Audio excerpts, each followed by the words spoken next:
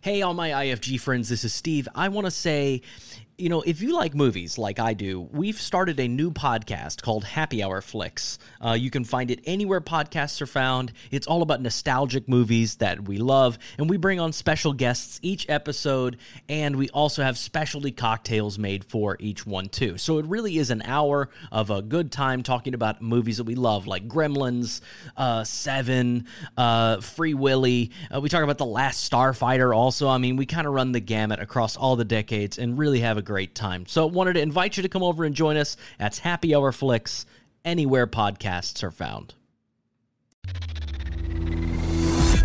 This is the, the independent independent independent filmmakers guide from Framework Productions. Framework Framework Productions.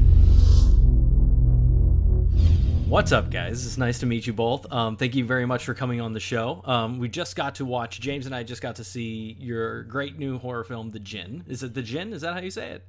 That is how you say it. Yes. The Djinn. Yeah, the Djinn. Um, a lot of fun and really, really enjoyed it. So, but tell me a little bit about what what made you guys want to get involved and do this project in the first place.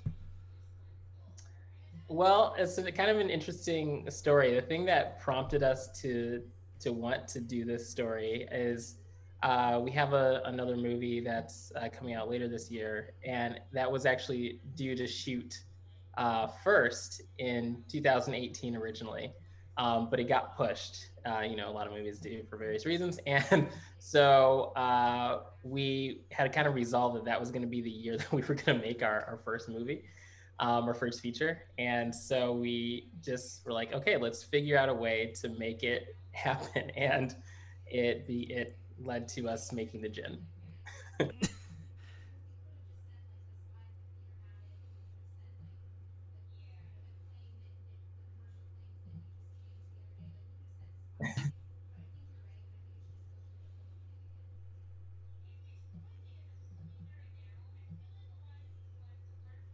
Oh, that's awesome. so did you write this? Did you write the Djinn? It's the boy behind the doors. The other movie you have coming out, right? Correct. Yeah. Yeah. So did you write them both at the same time? How did the screenplays come about? You guys are co-writers, right, David? Yeah, we we are co-writers. We we collaborate on everything together. Um, well, for the Djinn, we wrote it very quickly. We wrote it um, in just a couple of weeks, knowing like the timeline that we wanted to shoot it in.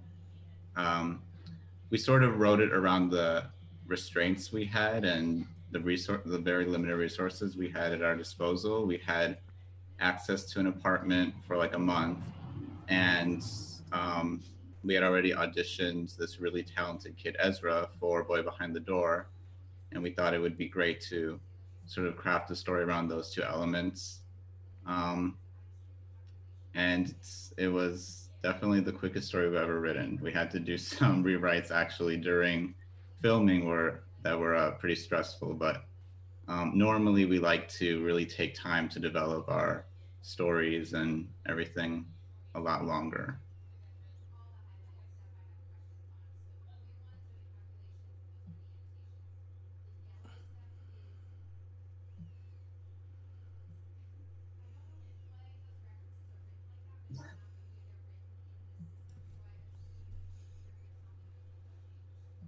It was pretty crazy because we found out i think that i think we found out in like june of 2018 that boy behind the door was getting pushed. And so and we didn't decide right away that we were gonna like resolve on like okay this is we're gonna make sure that we'd make a movie this year. So we kind of like took another like month or so while we thought about that.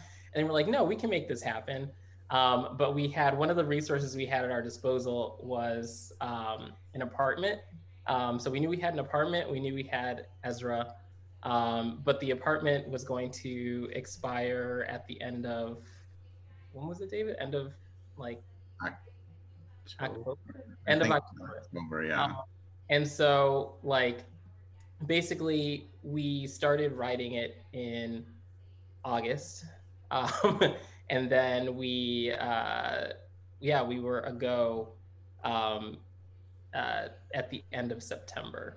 Wow. So, um, so yeah. you'll have to forgive me too, like because the this this the Djinn the whole movie's based around kind of like a metaphysical kind of like demon you know mystical i, I don't really have the words is that based in anything true or is that like a, a, myth you guys knew about or just make up this character so so with uh with the Djinn so basically it's it is based on like a you know Djinn are are things that exist in mythology I'll, i guess i'll get into that a little bit basically where Get it? I can tell how excited you are. Get into the weeds, man.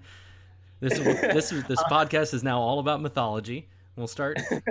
it's I'm not, go, I'm not gonna go too into the mythology. Uh, I mean, like really, with the story, what we we wanted to do was uh, really formulated around um, like Dylan's character, and we knew like since we had this apartment, um, and uh, we had like neighbors around that we wanted to be respectful of because we were going to be shooting at night. We were like, okay, well, how can we make this as quiet as possible, even though we want this to be really, you know, exciting? So we're like, okay, well, we can't have like this kid screaming and like scaring all the neighbors and feeling like a kid's in danger.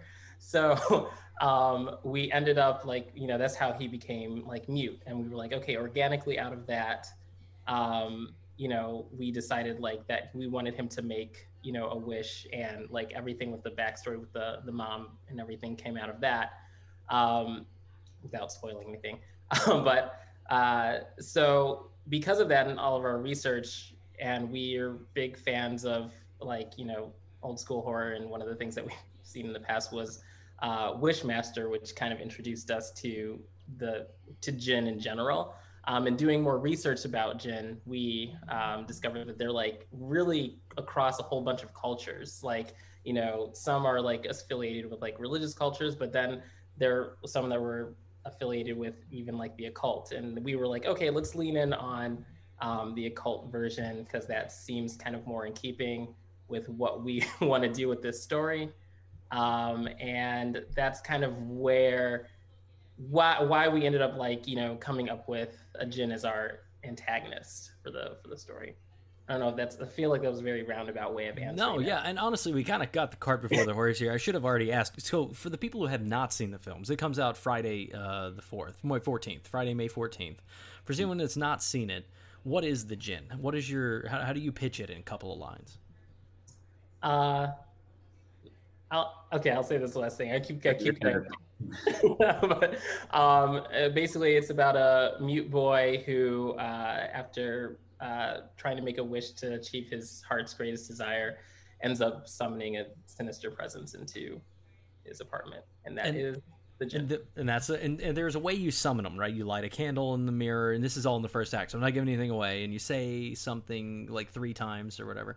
Do you, have you guys individually, while you're filming this, who lit a candle in a mirror? and said the phrases into the and, and psyched themselves out at night. I, d- I don't think either of us did that, but you're too terrified. You're, you're too terrified, but you're just gonna have a little kid do it while we're rolling. Like if shit happens to him, we at least know it wasn't us.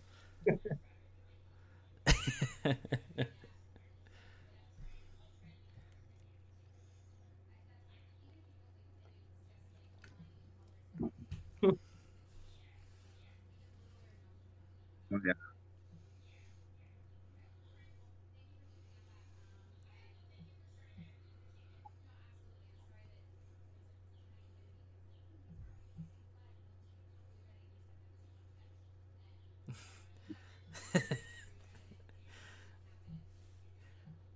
and it's that like quintessential horror thing where you're watching somebody do something you're like oh don't do this. Oh don't do this. So how how was that like is that where how much were you guys thinking about the structure of a horror movie when you're writing? So that's ultimately i think we're going here right? So like how when you're developing it so quickly how important was it to how, how did you develop that tension?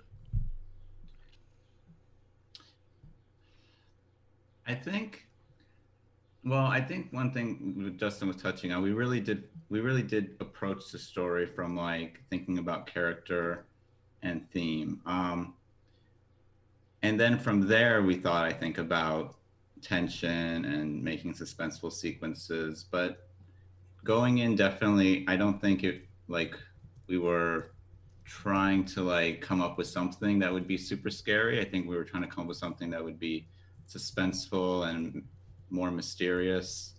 Um, and you know, the first like third is is pretty lighthearted. Like we did want it to feel a little bit fun and playful, and we like that sense of adventure.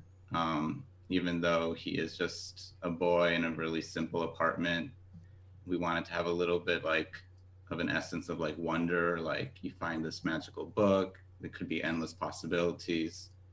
Um, I feel like that's a really anticlimactic answer to your uh, question. I'll Um, add on to it. I mean, I guess that in general, with David and I, like, I think coming up with our stories uh, for the most part, we always approach it from a character perspective. And I think that we're really big advocates of the idea that, you know, a good horror story should like they exist like without the scares too you know? Like you have to have like a really good a good story that surrounds you know characters that you care about have a strong emotional core. And then once you have all that foundation then you get to build in all the fun stuff all the like you know the real tension and like the the scares. And so like like david said we we didn't go into it being like all right let's like think of like you know this all these like scares and everything and then like build a story around that we really came at it from a all right who's this character what's his emotional journey um, what are the themes we want to explore and once we have all that down structurally then we get to put in all the like fun beats of like making this a thrill ride Right. Totally. And that I think that absolutely makes sense. So I want to talk a little bit about pre-production a little bit more in a second, but let's jump ahead to how you actually shot it. So you knew you built into the resources you knew you had, like an apartment, lead cast. How many days did you guys end up shooting and what did your general scope of production look like? we shot for correct me if i'm wrong Justin. we shot for two weeks um they were was it five day weeks or six day weeks i think they were i think they were six day weeks yeah six day weeks um we were still shooting, we still we were still shooting with a kid so obviously that restricts our hours to just five hours a day with the kid Yeah, I was Uh, about to ask. I mean, that sounds like uh, I'm sure that was a real pain to really schedule and get together. Yes and no. I mean, luckily, Ezra is just such a talented actor that he kind of just gets it on the first or second take. Um, so that really wasn't a struggle. Uh, he also, you know, learned sign language really fast, which also is miraculous. Um, you know, if you have good actors, they really make your job and good crew also like amazing. We had an amazing DP and he had an amazing crew. It just makes everything go so much faster. It's like a well-oiled machine. Um, pretty small, right? Like it was, I think it was, I, so we did have people that had to like rotate out for like other jobs occasionally, but I think that like total on set we would ever have at a time was 12. Um, so it was, and sometimes even less. Um, but yeah, like total like actual crew that we would ever have on set was was 12 But- people. that's also including like studio teacher and positions that don't really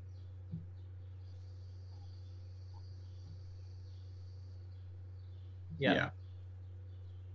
Um, but a lot of people had to kind of double up on on duties or just really like you know i mean uh, we we did have um like a gaffer but like our dp really did have to like handle a lot of different aspects of the production and post production uh i ended up having to do the bulk of the editing david was the production designer um like there's just a lot of kind of Overlapping and wearing many hats. yeah wearing many hats so Well, you did a great job. I think the look of the film is very good. And uh, did you edit? You edited the film also, Justin? i did yeah Going back to the production design, though, I mean, I thought that was excellent. The movie has such a consistent feel throughout. I actually wanted to ask, you know, in big studio movies, that's usually achieved through a you know healthy art department uh, budget. But for you guys, um, you know, did you? How much did you uh, to to establish a, co- a cohesive look like that? Um, what did you do in terms of pre-production? Did you buy a lot of props, or did you? It was mostly done with lighting. Well, thank you for saying that. The production design is like the one thing that I wish we had a little bit more time and money to really develop. Um, and yeah, we had to do a lot of it ourselves. It really was um, just a collaboration with our DP, you know, before talking about sort of defining all the spaces. The great thing about the apartment we had is that it has like a circular layout. So it allows for, there's no, there's never really like a dead end. Character can always go left or right. Um, and then in terms of just like dressing space, it was really just bits and pieces that we had. We knew since we couldn't like develop it maybe full like as fully as we'd like because of budgetary restraints and time restraints. Again, that was like a a story thing that came out of that. We thought, well, maybe they just move in, so it's a lot more sparse. Um, we can keep it very simple and um, clean and very generic and very plain, intentionally plain. Yeah, I mean, and that it comes across, and I think it really makes it more suspenseful and scary. You know, even just having that TV uh, in the dining room like that, and having nothing else, um, makes you know really sets a sets the stage and kind of feels creepy in a way. Thank you. I feel so, like David's always very self-conscious about the production design, so it's really nice. You no, guys... you shouldn't be. You shouldn't. I be. absolutely. I would. I would say that's a, a, highlight of the movie for sure. I mean, I felt it, and then the, the way the music can't co- like comes into that as well. Uh, I thought it was very well realized. And there are two creatures, like two distinctive. Cre- you, you get without giving away too much. You get away with some not always having to show them, but then occasionally do show two distinctive creatures in the film, monsters and I thought they were both really kind of iconic. You know, in in the film, they really were great set pieces. Can you talk about the design of the Djinn uh, when you see it uh, first, and the few times you do?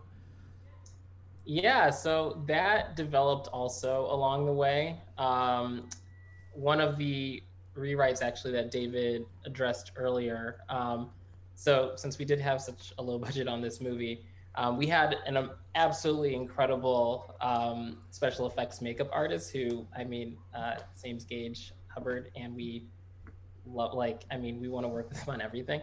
Um, and, uh, but we didn't have like the budget to, you know, for him to actually create the original uh, design that we had come up with because it was so like intricate. David and I are always very like you know shooting for the stars, and we're just like, yeah, sure, we can we can make this like really uh, specific design for this creature with this no budget.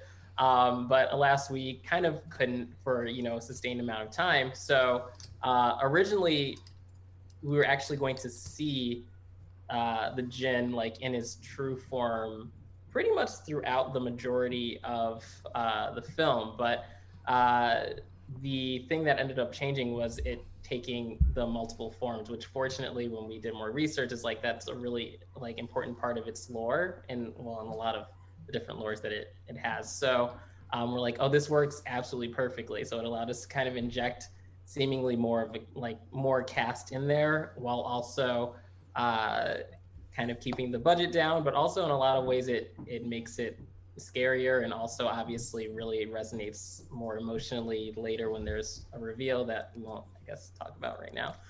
Um, but uh, so uh, but yeah, the design uh, for the the Djinn in general was just us working really closely with Gage and him really just kind of being uh, always on his toes and being able to just like roll with the punches when he had to adjust with the limited resources too. So it's it's really it was really great just having so many people on this crew that were able to adjust to you know everything that we were just working with. Everybody kind of had a lot of restrictions and.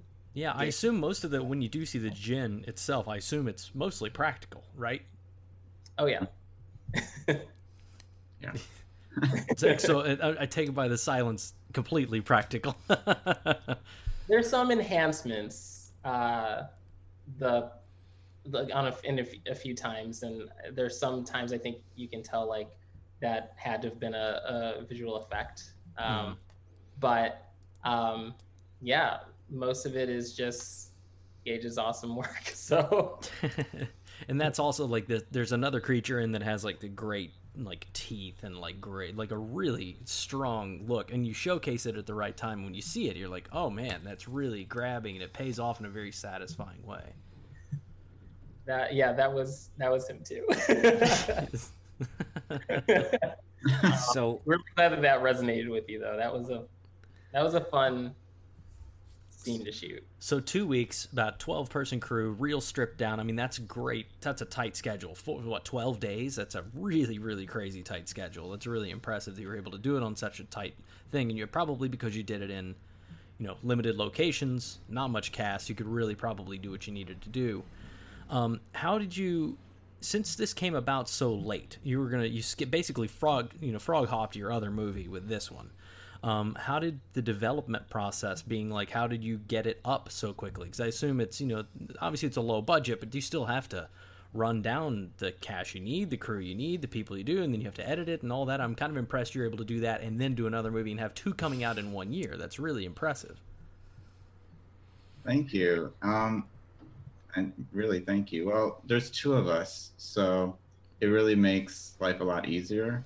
Um, we can like, you know, one of us can handle one fire, another of us can handle the other, and we just like tag team all our problems. It, it's really like really useful. I feel all directors should have a directing partner because there's a lot to do.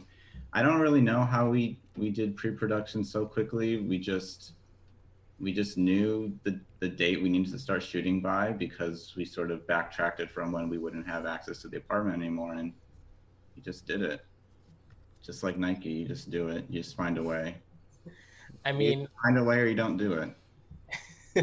it was it was really just about like just ma- like we had you know i guess even in terms of like you know getting the movie funded it was a combination of you know uh like say our own savings and also just like you know getting in touch with uh people that we knew could help finance the the movie. And um and really i think having that date was a really like we knew the date you know? And i think that that's a big thing with uh, filmmaking in general that um, everything kind of works around like if you have a date and you're going to people being like we have these hard dates that we're going to be shooting on like things come together much much faster. When you have like an idea where it's like oh i want to shoot a movie and you don't really necessarily know when it's going to be a go.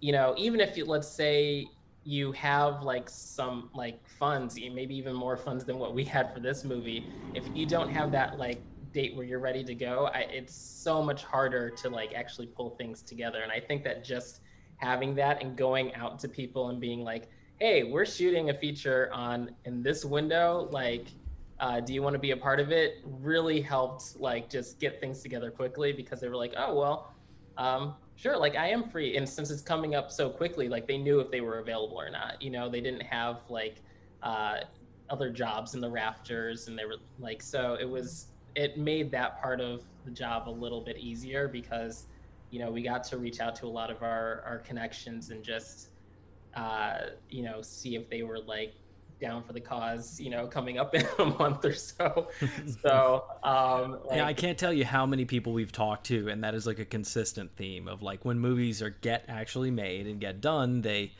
you know, people say this is the date, and you all of a sudden start pushing towards something and saying you because no one ever comes and does it for you, right? Like you never, no one ever walks up and be like, oh, you have a fantastic idea, I'd like to give you a bunch of money and help you make it. That just doesn't work that way. so the moment you start saying, I feel like here it is, everyone finally gets it.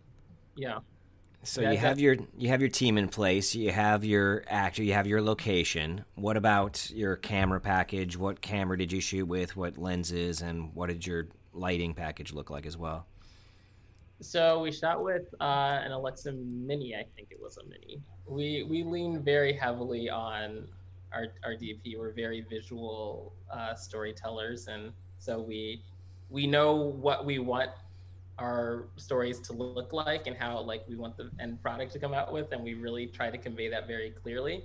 And then we leave um, him to figure out how to actually um, get the technical equipment necessary. But actually, in this case, uh, did use a lot of. Um, I used to work at um, Lionsgate Entertainment, like just desk job, like for many years. But uh, it was in post production, and um, had a connection to um, a uh, post facility called uh, HD Cinema, and they also rent out cameras. And so since I was, you know, really tight with them still, they gave us a really great deal on uh, this this mini that they were like, yeah, it's, it's once again having that date, and they were like, it's not going to be out at that time. They're like, sure, we can we can spare this, uh, and so they gave it to us at a really discounted rate, um, and that's how we were able to secure that.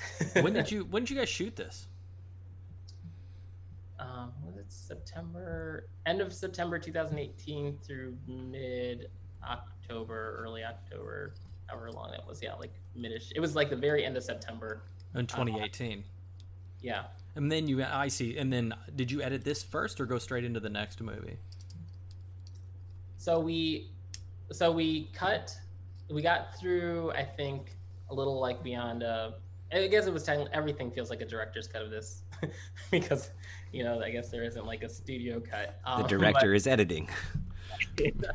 um, we got through, I guess, the first few like couple cuts of this uh, before uh, Boy Behind the Door actually got greenlit, and then we had to take a break, hop on Boy Behind the Door, fully finish that, and then we came back to the Djinn, which is why Honestly, that might have been a huge blessing because being able to hold off that long. What was it like coming back and watching it after stepping away from it for what nine months? It felt amazing. Um, it felt like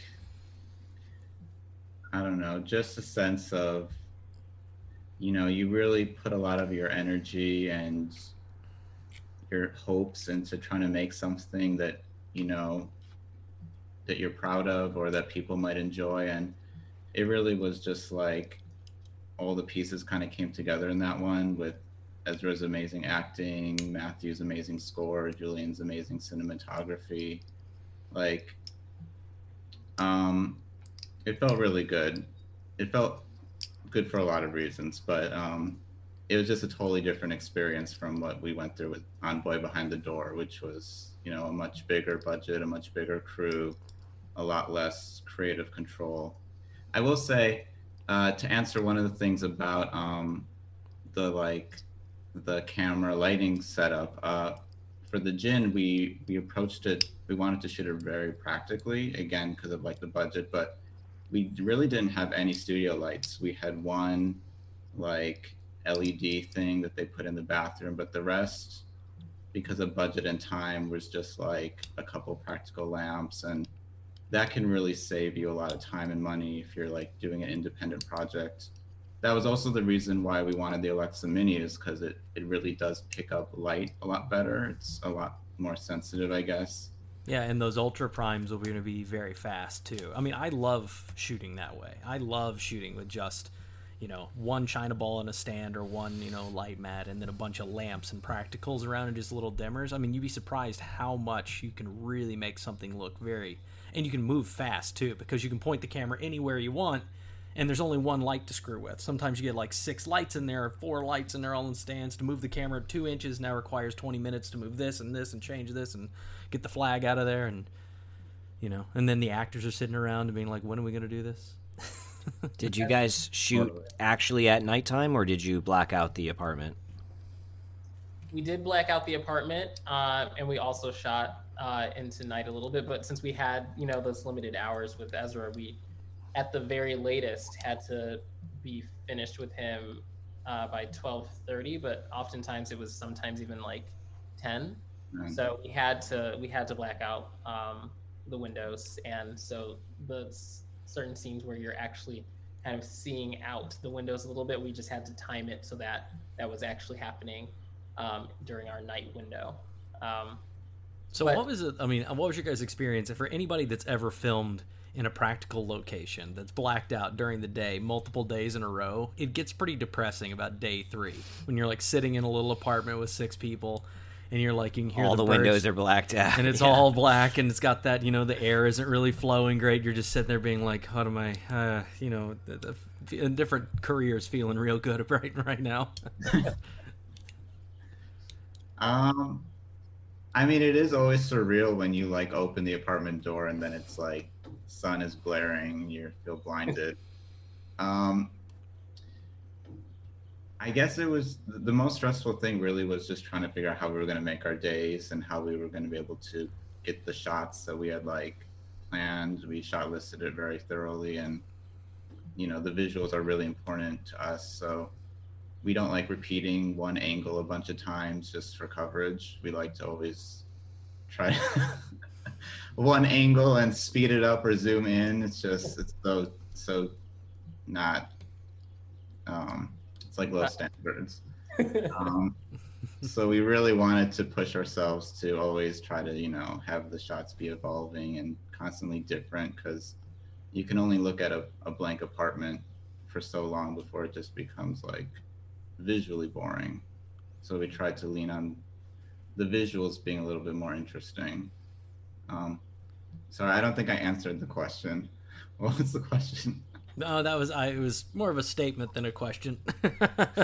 It is about the feeling of it being depressing in there. I mean, it, it, it wasn't though. I mean, I, I, I, I do think that it felt like it could have run the risk of that, but there was something about like just because it was such a small crew and everything just felt so like guerrilla and free that it was just like we were just kind of just trying to have a good time as much as possible you know, our our lead is a kid, so we always kind of had to keep things fun for him, um, and so I think that really helped uh, make it so that like, you know, there were times where it was really stressful, but at you know at the end of the day, I don't think anyone was just like, oh, get me out of this apartment. Mhm. Like, How about know? working with you guys? Did two movies in a row with a lead that's a kid. So what is it? What is your approach to working with a kid versus an adult?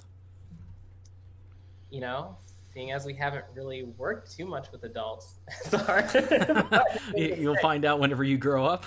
we'll find we'll find out, right? Um, I mean, we did have we did have some experience with obviously a little bit on on the Djinn with Rob uh, and Tevy, and there there are adults in that, um, and also more so in in Boy Behind the Door. Um, I think that the approach we really try to take with you know kids is especially like this really takes place in like the casting process. You're really just trying to find a kid that you feel can can embody this character and then just can feel like they're being themselves on set essentially.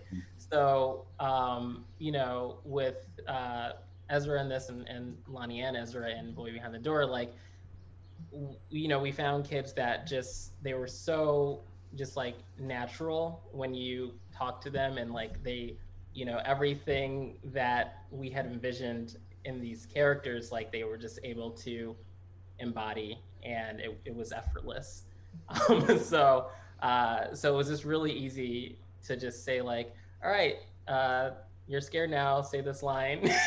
Like they were just um, so uh, or you know in the case of the Djinn just like you're scared now and you don't have to say any lines but run away this way and ezra would nail it. So um like but you know with adults it's it's fun because you actually do get to go a little bit more into like the you know the what the character's like psyche is at that moment and like you know kind of what their their backstory is um and to really help them figure out the emotional state that they want to be in as an actor um and like we're how like getting helping them get to that place by just explaining who this character is what's going on in the moment in this uh, in the story here. Um, and i don't know it's kind of fun you get to have this dialogue where they're kind of creating this character with you in a way like where you know you had a you had an idea of this character when especially if you you were wrote it also you had an idea of this character when you were putting it down on the page. And uh, obviously the actor wants to bring that to life but they're also injecting their own like uh, personality into it in a way that you never would have expected. And it really makes the character and the role evolve in this fun way. Um, and just kind of talking through that process um, and getting there is just it's really fascinating and fun um, and it's like i don't know it leads to a lot of cool discoveries um, and you do get those discoveries with kids too i'm not trying to take anything away from that but it is like you know it's a little bit of a, a different process that's that's interesting and entertaining yeah, absolutely. So now let's jump ahead a little bit. So all done. How long did you you edited it in two chunks? Once you got to kind of finishing the cut, what was your next steps? How did you take an approach to you know finishing the film and then getting it out into the world, getting it seen? Did you go you know I mean because festivals in twenty so this would have been twenty twenty when you guys were trying to shop this, right? I mean it hasn't come out yet. So how did you get how did you get the film out there? How did we get the film out there? It's kind of a blur. Um, it is a blur, isn't it? kind of a blur. It's well, always uh, it's always such a journey, right? And then last year, which was probably the big year you were planning on your festival circuit, uh, was you know 2020, right? So how did that how did that affect the journey and the trajectory for the the release of the film? It was a little bit more unique, I think, in our situation, just because we did have our other movie, Boy Behind the Door, and that was also finished at the same time. Um, and that was being shopped around.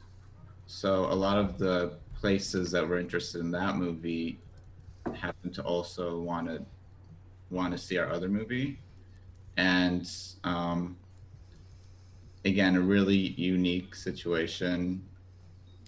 Uh, we're obviously really thankful that it worked out that way, but um, you know, one of the places that was looking at the other movie happened to see this movie and they uh they really liked it. They really saw something in it. So um I don't think it works out that way most of the time. The festivals, um we didn't really do a lot of festivals for the Djinn until really after it got uh, interest in being picked up. We're not big. Uh, I don't think we make festival movies. Fair enough. I mean, it's a it's a specialized thing for sure. But I mean, it doesn't. I mean, you already had interest in distribution. That's why most people are going to a festival in the first place, right? Right.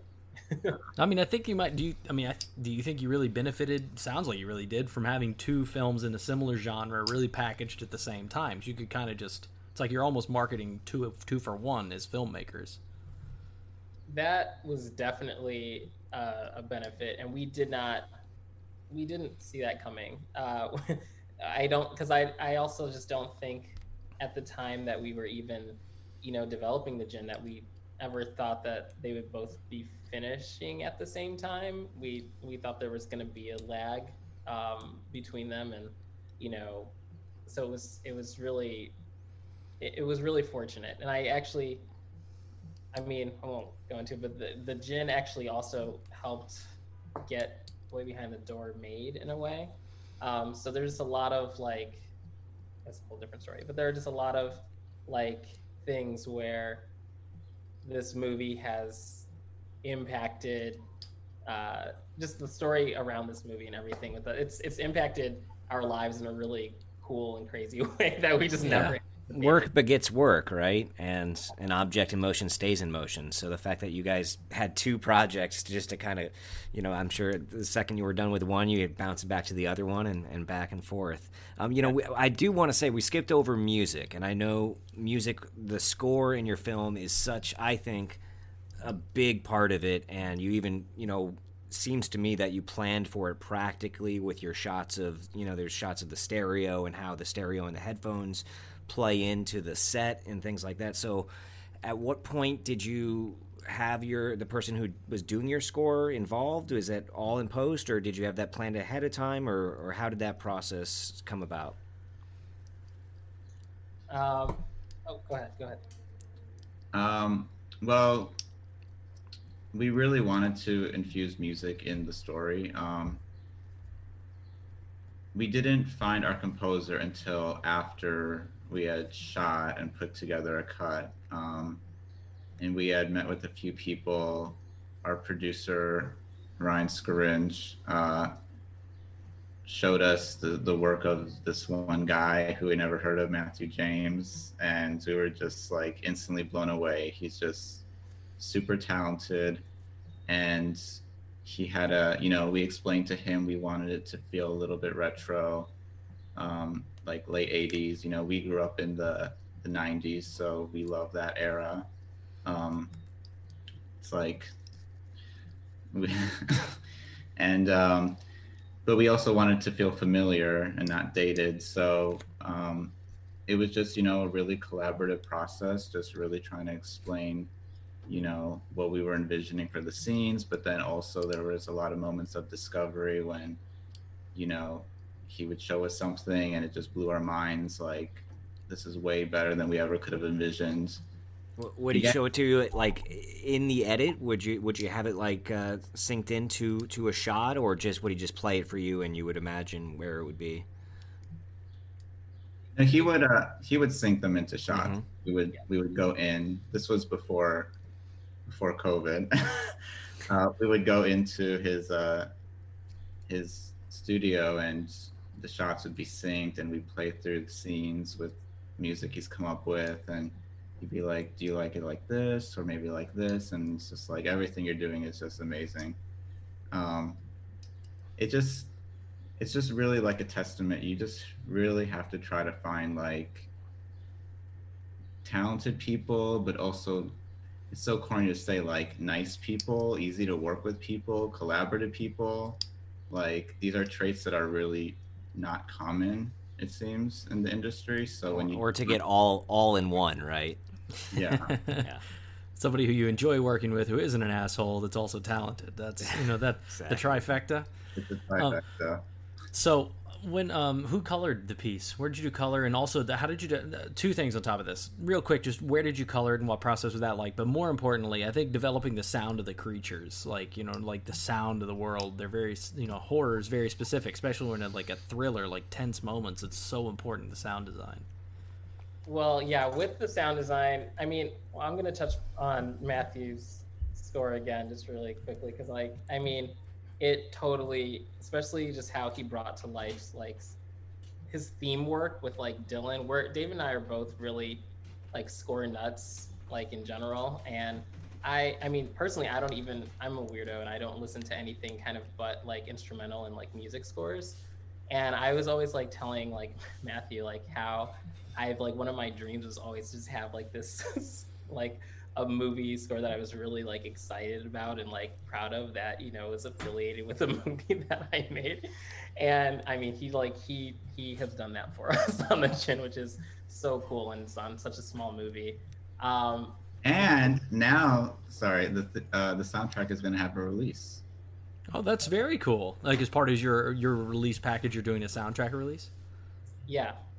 It comes out on the 21st of May. So he gets like yeah, the album's being released. And it's also going to include the the three songs that have that by Time Cop that are in there, which that was such a great find. Um, and the fact that Jordy was willing to actually let us use his music in the movie. And So is it just called the Djinn soundtrack is that how people would find it Yeah, it'll just be called the I think I think soundtrack, but it's definitely it's gonna be called the Djinn like score or soundtrack, but it probably soundtrack since it includes Time Cop on there too.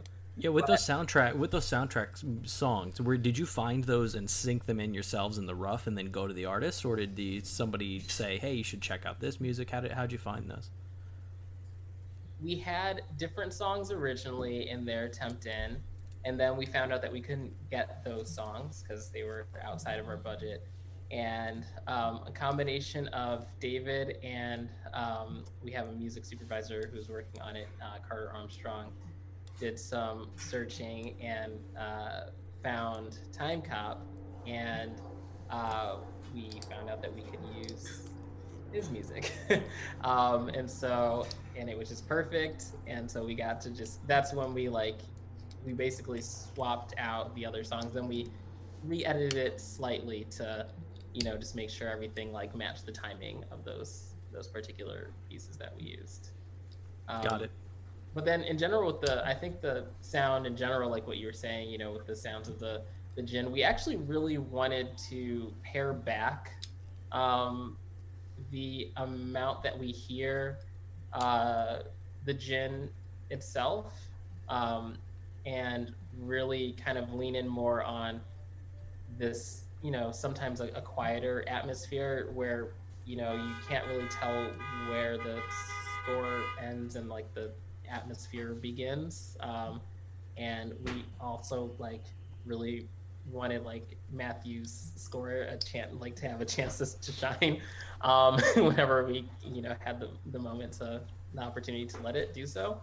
Um, so uh, but you know sound is just yeah it's super super important to us. Every time that we're even like um, conceiving something on the page we're thinking about you know what the uh, soundscape for the, the movie is going to be. Sound is just like everyone knows it's like arguably like the most important thing in in horror. Like especially when you don't have people speaking which is interesting um, so all of that just um, like it was it was a it was a, an interesting process putting that all together. What do you guys think you know what what have you learned from the process of doing these movies that you would you know hand off to other people trying to make their own film? Something you would suggest you know things you could you know you've learned from your process that you can you know pass along? I i think that the biggest i guess i'll approach it as saying like the biggest thing that we've learned from this uh, that I think is a really good takeaway is just like you've got to just like if you believe in something, you've got to just go for it. Like don't like this industry is kind of like structured to to deliver a lot of rejections and a lot of ways to kind of almost prevent you from making movies it seems um, and you know you'll have things where you'll get like a delay or you'll get you know like you'll seem like you have an opportunity and all of a sudden that opportunity seems to slip through your fingers but like you just need to kind of keep like pushing and not give up. Uh, and it's i know it's super corny to say um, but it's i think it's all about just like sticking sticking with your goals in this industry and just not backing down and kind of always trying to find a way to be creative to get things done.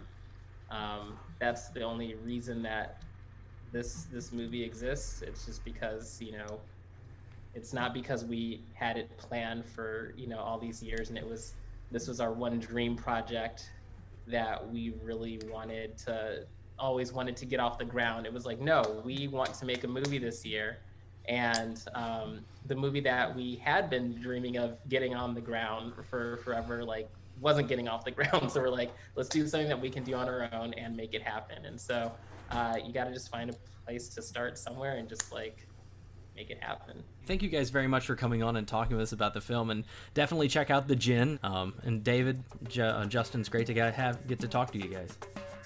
Thank you. It was great talking to you guys too. Thank you so much Filmmaking is a collaborative experience, and so is this podcast. Follow us on Instagram at framework underscore productions for upcoming episode announcements and leave your questions in the comments for our future guests. Please take a second to subscribe so you know about future episodes and leave a review. It really does help us. For more information about today's guest, visit independentfilmmakersguide.com. IFG is a community, and we want to help you in your filmmaking process. Hi, I'm Gordon Christmas, a film lighting designer from Brooklyn, New York, and I'm reading the credits. IFG is created by Framework Productions. This episode was directed by James Allerdyce, produced and edited by Matt Mundy and Audrey Rae McHale, and hosted by Steven Pierce. The music is by Glass Boy. Find his music on freemusic.org. Listen and see all the IFG episodes plus bonus content at independentfilmmakersguide.com. Thanks for listening.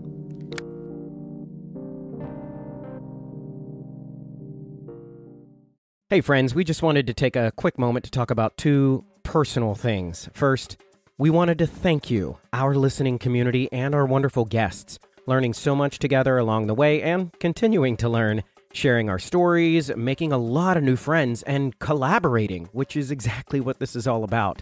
Which also brings me to my second point. In great part to many of these new relationships, we wanted to let you know that we've taken a lot of this advice ourselves and made our own narrative feature film, Herd.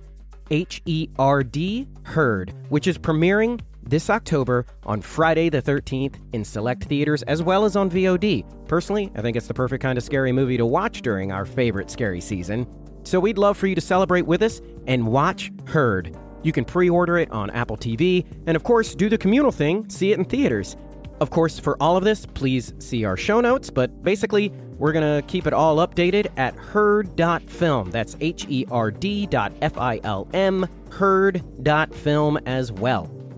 Thank you again. And be sure to give us a rating and a review over on Apple Podcasts so we can continue to build this community and collaborate. IFG How Movies Get Made.